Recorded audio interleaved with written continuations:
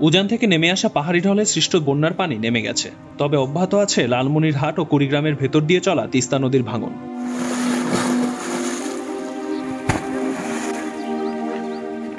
এই ভাঙন পরিস্থিতি কোথাও কোথাও তীব্র আকার ধারণ করেছে। নদীগর্ভে চলে যাচ্ছে বসতভিটা আবাদি জমি।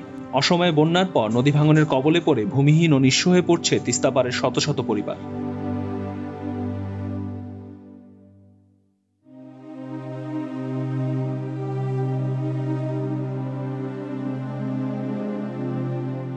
আমরা মরিচ লাগাইলাম, আলু লাগাইলাম তাছাড়া ধান লাগাচ্ছি ধানগুলো আমরা কাটছি কাটার সেই ধানগুলো সবগুলো এই যে পরে একটা বন্যা আসলে, এই বন্যার পর সব ধান টানগুলো আমার সব ভাসে গেল।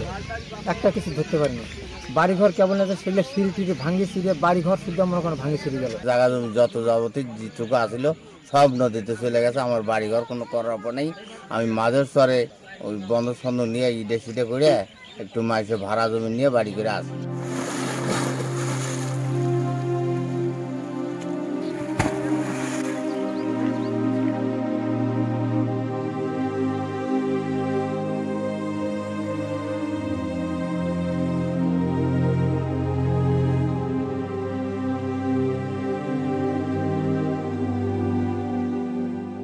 নিশ্চর হয়ে গেছে নদীতে।